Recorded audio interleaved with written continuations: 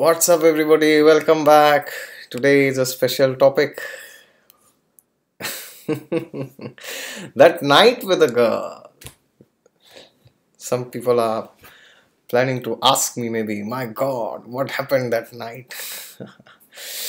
Welcome back to Exotic Astrology. If you have not subscribed to the channel, then please subscribe to it. And if you like the videos, then share it with the people who you love and like and if you have any questions queries and comments then please let me know about my other videos. Or if you want me to make any other video then please let me know in the comments.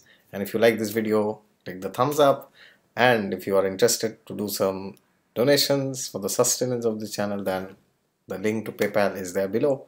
You can go and do or else continue watching this video. Today's topic it is not about astrology. It is not about the scriptures. It is not about a girl also, but it is about a very big danger. The topic is very appealing. the tagline, the title, but I want to highlight some biggest dangers when we take to spirituality the problem the danger is not of the spiritual path but the danger is in pursuing it from the wrong people. Well i am in germany from last two two and a half years. And this story goes back to january last year. All right. Which is roughly 18 months from now. 18 months back one and a half years back. So what happened was I have a friend from New Delhi, India. He called me and said that there is a girl from Poland who also has knowledge of astrology and other areas and she's interested to meet you. And then I said, okay, what is she doing then? She was a student here in the University of Göttingen. And then I went to meet her.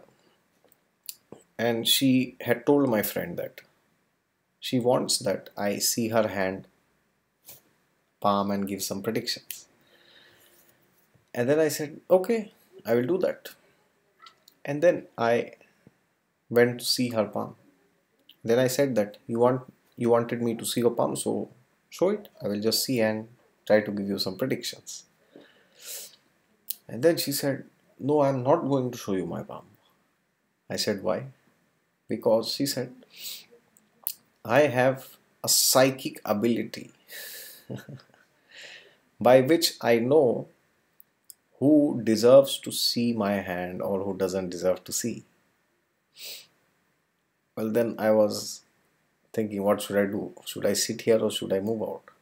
Because that's what that's what she meant. That I, I, I do not have the capacity to see her hand. I do not know what psychic ability she had.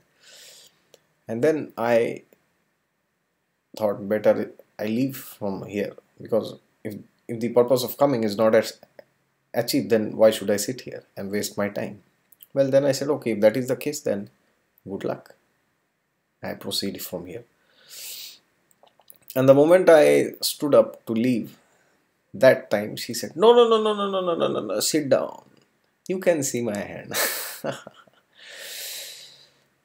and she was a girl from Poland I will not tell her name extremely beautiful, extremely charismatic, extremely talented. I think she was the topper of her batch, I think.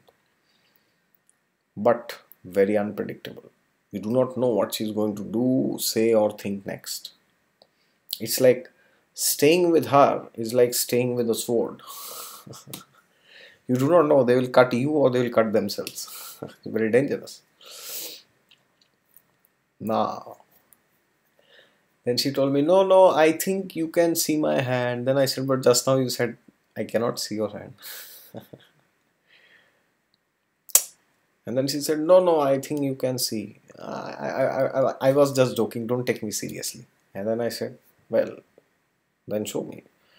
And then I saw her hand and I gave her some predictions that and I asked her certain questions that do you behave like this, do you behave like that. Then I checked the horoscope also. She had an approximate time. So I could check the horoscope also.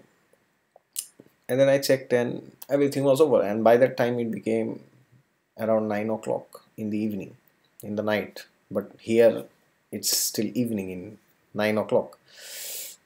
But that was winter I guess. So it was quite dark that time.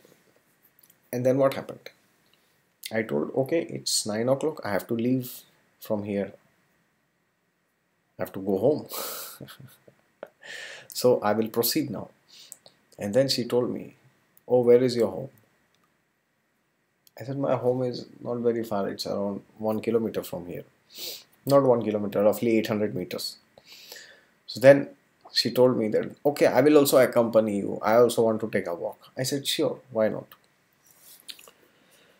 And then we both started walking. And when we were walking she was telling me that there was a place where she had gone this was some three four years back when she was very young. And by the way that time her age was around 19 i guess when i met her last year. So four five years means maybe she would be 15 or 16 that time when this experience she had. She said to me that she had gone to meet a guru not a guru a so-called guru in the west who had promised her that I will help you awaken your Kundalini energy from the spine or from wherever. and then I will give you divine spiritual experiences very fast.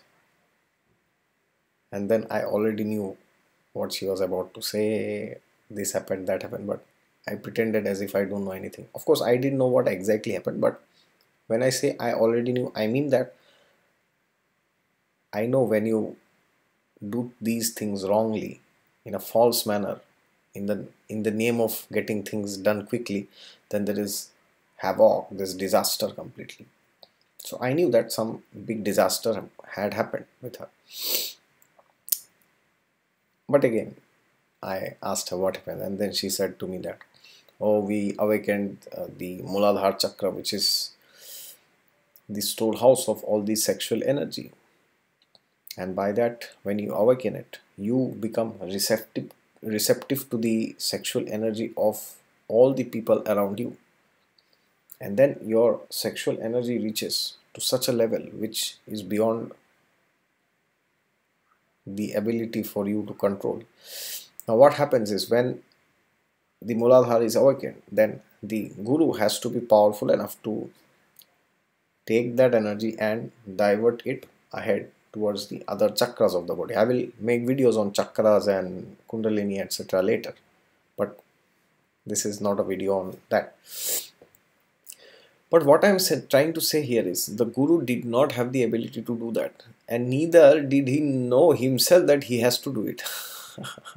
so what did this guru do? He didn't do anything. He just kept her like that and then she told me that that one year there was complete havoc in her life because when that happens when the sexual energy is not transferred upwards it becomes uncontrollably fiery that energy. And then you feel like having sex with everybody. Even dead objects animals snakes men women old children. Maybe this water bottle. Because it is going out of your control because you are perceiving everybody's sexual energy. It's very dangerous. If the energy is not channelized upwards to the higher chakras, because it's like you are planting the bomb and it's blasting there. and then she told me that recently also I had done something like this. And then I asked her, what about the other chakras? Could you go ahead? Then she said, no, no, I, I got stuck there only from four years I was stuck there. When I heard it, I was like, my God, that's very serious. And then at the end, I told her that be careful when you do all this.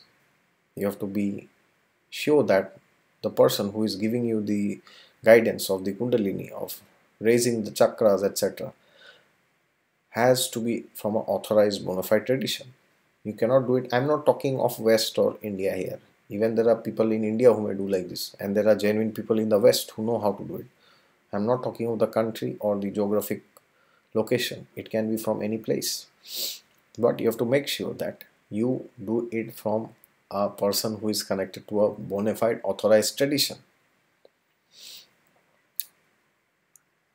and then we reached the building of my the apartment where I stay and then she was interested to talk more with me on this regard but the way she was telling me those things I was like man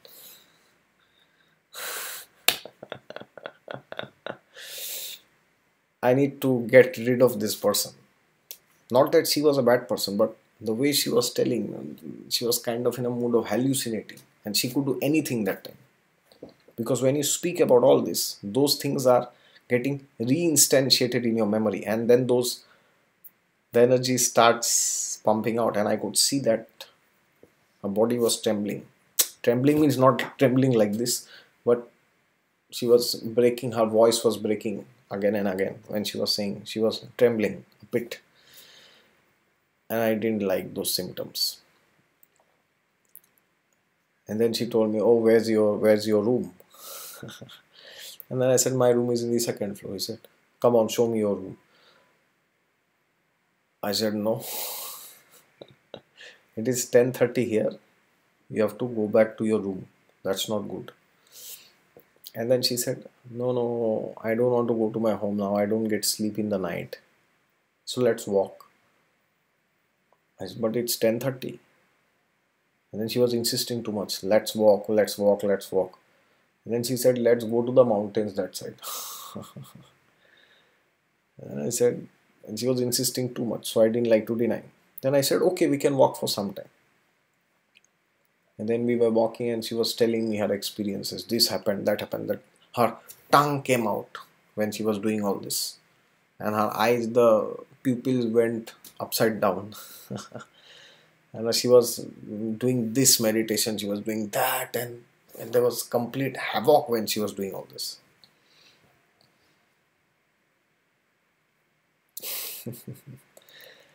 and then at the end after four years of destruction she realized that it's a it, it is complete disaster which she has invited in her life. Complete disaster.